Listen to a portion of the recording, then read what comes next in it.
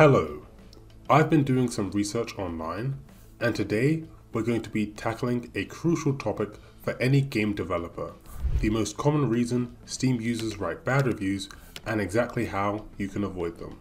Even if you're not developing a game for Steam, this video can still be helpful as I'm going to be going over the features you should implement in your game to avoid bad reviews. Players will give negative reviews when they can't play the game they bought effectively and this could be for a number of reasons. So when you're making a game, even though it can be tedious and effort intensive, it's important you add the following features. 1. Completely remappable controls. Players expect to be able to change every single action to any key or button. There's a huge variety of personal playstyles on Steam. Some players have different keyboard layouts, like a QWERTY keyboard, or just in general, they like to remap controls because they're used to playing games certain ways. So they need to remap controls for your game.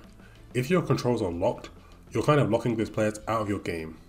This is a common oversight for first time developers, but it's a fundamental feature. Because as you're making your game, you never really consider that someone else would want to play it in a slightly different way. To emphasize this point, I'll show you an example. So, there's this game called Toyland Tussle.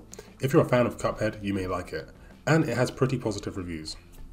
Although I'm going to highlight a negative review, and note, this review has nothing to do with the quality of the game, it's just the fact that they couldn't play it. So this review says, I would love to play this game and beat the boss, but the keybinds are so bad and can't be changed. That's why I gave up.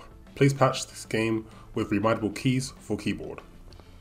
I made a video on adding remappable controls in Unreal Engine. Here, I'll make sure it appears somewhere on the screen now. The next point, in terms of making sure players can play your game, is when your game launches, you want to make sure it launches with a proper graphics and audio menu. Some games launch without any settings, meaning players can't change anything. Next, we'll just rapid fire through the most common settings you need to include in your graphics and audio menu. So first of all, you should have a option to change the graphical quality of your game. This is pretty standard, this will allow players to lower how everything looks on your game, that way it can run more smoothly on lower end PCs. If you don't have this and players are just locked into the default graphics, if they're running your game on a lower end PC, they won't be able to update your game so it can smoothly run on that PC and it may lead to negative reviews. Next, you want to include some display mode settings. So you want to make sure that your game can be in windowed or full screen mode.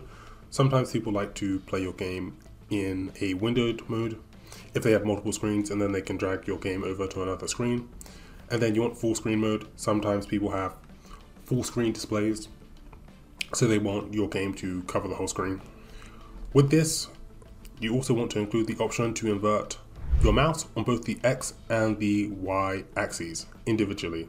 Sometimes people like playing with inverted mouse controls, and along with this, you also want to include a adjustable sensitivity for the mouse and controllers. That way you can adjust the mouse sensitivity and the controller sensitivity.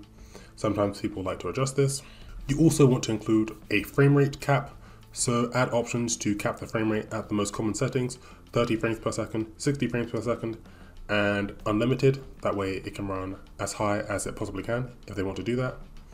And then for the audio settings in your game, make sure that you have separate volume sliders for the following. SFX, so the sound effects in your game, and music, so the general background music in your game. And if you have dialogue in your game, make sure you have a separate slider for that. Those are the three main audio sliders that you want, because sometimes people just want to turn off certain sounds. For all these features, don't worry if it sounds like a lot. You have two options. The Unreal Engine Marketplace has loads of main menu templates, and these normally include all of these default settings. Or there are many free videos online which will teach you how to build all of these systems. It's just I've noticed if you go on Steam and you kind of look at new games by new developers, sometimes they won't have these settings and a lot of times people will leave negative reviews because they can't like update the game.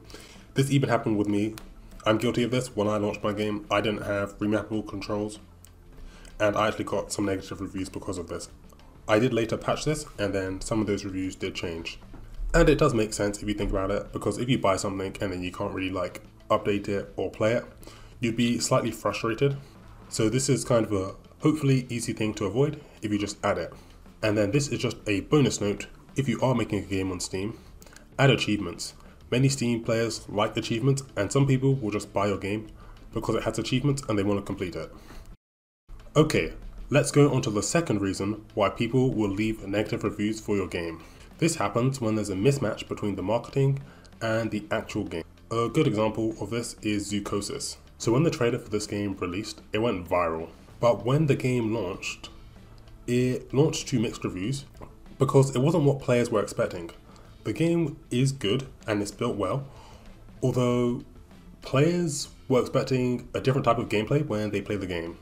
So players form expectations from your trailer, store page, and screenshots. If the final product feels different, then they feel kind of misled because they kind of felt like they were expecting something, although they didn't get that.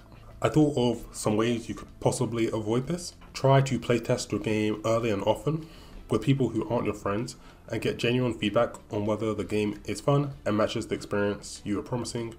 And also consider having a demo before you've fully built your game. That way people can try and see the game and you can see if it meets their expectations.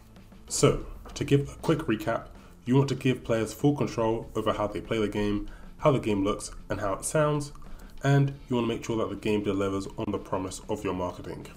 If you implement these features, you should dramatically increase your game's quality and reduce the amount of negative reviews that you get. If you enjoyed this video and found it helpful, make sure to like and subscribe.